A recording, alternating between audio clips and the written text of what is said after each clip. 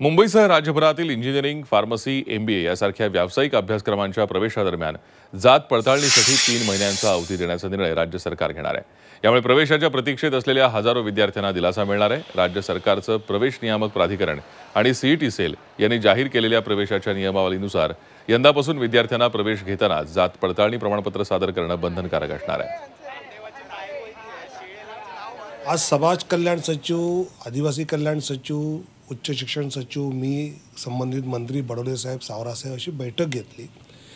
आणि त्यात आता आम्ही असा विचार करतो आहे की मेडिकलच्या सीट्सवर खूपच ताणदाणी असते. त्यामुळे त्याबाबत एखाद वेळेस वेगळा विचार आपण करावा. अन्यथा इंजिनिअरिंग मॅनेजमेंट या बाकीच्या सगळ्या जागा आहेत. यासाठी आपण व्हॅलिडिटीला तीन महिने देता येतील का? तर तसे ते द्यावेत. असा प्रकारचा विचार करून आज रात्री आम्ही तो निर्णय नक्की करू. झी चोवीस तास. रहा एक पाऊल पुढे.